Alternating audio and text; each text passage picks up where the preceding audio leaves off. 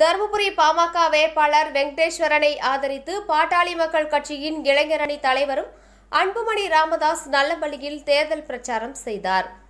இந்த தேர்தல் நமக்கு மிக முக்கியமான தேர்தல். இந்த தேர்தலில் நம்மில் ஒருவரான விவசாயி முதல்வர் வெற்றி பெற வேண்டும்.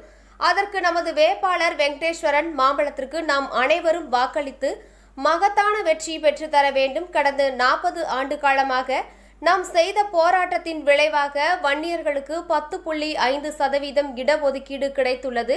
இதை கொடுத்தது முதலமைச்சர் எடப்பாடி பழனிசாமி. இந்த கூட்டணி சமூக நீதி கூட்டணியாகும். எழுபது ஆண்டுகளுக்கு பிறகு ஒரு விவசாயி முதலமைச்சராக உள்ளார். அவர் மீண்டும் வெற்றி பெற வேண்டும்.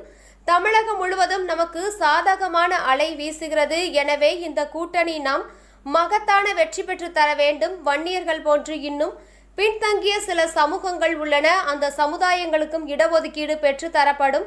அதுதான் சமூக நீதி ஒகேனக்கல் உபரி நீர் திட்டத்தை தருமபுரி மாவட்டத்திற்கு கொண்டு வர பாடுபடுவேன். இது தேர்தல் வாக்குறுதி அல்ல. இது அரசியல் வாக்குறுதி. இதற்கு இந்த கூட்டணி வெற்றி பெற வேண்டும். அதற்கு தருமபுரி சட்டமன்ற தொகுதி வேட்பாளர் வெங்கடேஸ்வரனை நாம் வெற்றி பெற செய்ய வேண்டும். இவ்வாறு அவர் பேசினார். பிரச்சாரத்தின் போது அதிமுக நிர்வாகி மத்திய கூட்டுறவு வங்கித் தலைவர் எஸ் ஆர் வெற்றிவேல் ஒன்றிய கழக செயலாளர் சிவபிரகாசம் அண்ணா தொழிற்சங்க மாவட்ட செயலாளர் பழனிசாமி பூக்கடை முனுசாமி பாமக மாவட்ட கழக செயலாளர் பெரியசாமி பாஜக மாவட்ட தலைவர் அனந்தகிருஷ்ணன் மற்றும் நிர்வாகிகள் தொண்டர்கள் திரளாக கலந்து கொண்டனர். யார் கேட்டாலும் வெங்கடேஸ்வரன் நல்லவர் நல்ல அமைதி நல்லா இருப்பார் நல்லவர் ஒரு வார்த்தை தான் வரும். வேற எதுவுமே வராது.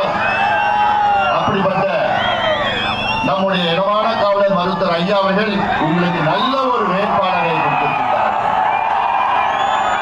நம்முடைய வெங்கடேஸ்வரன் அவர்களை நீங்கள் எல்லோரும் மாம்பழம் சின்னத்தில் வாக்களித்து அவரை வெற்றி பெற செய்யுமாறு உங்கள் எல்லோரையும் பணிவோடு பாசத்தோடு நான்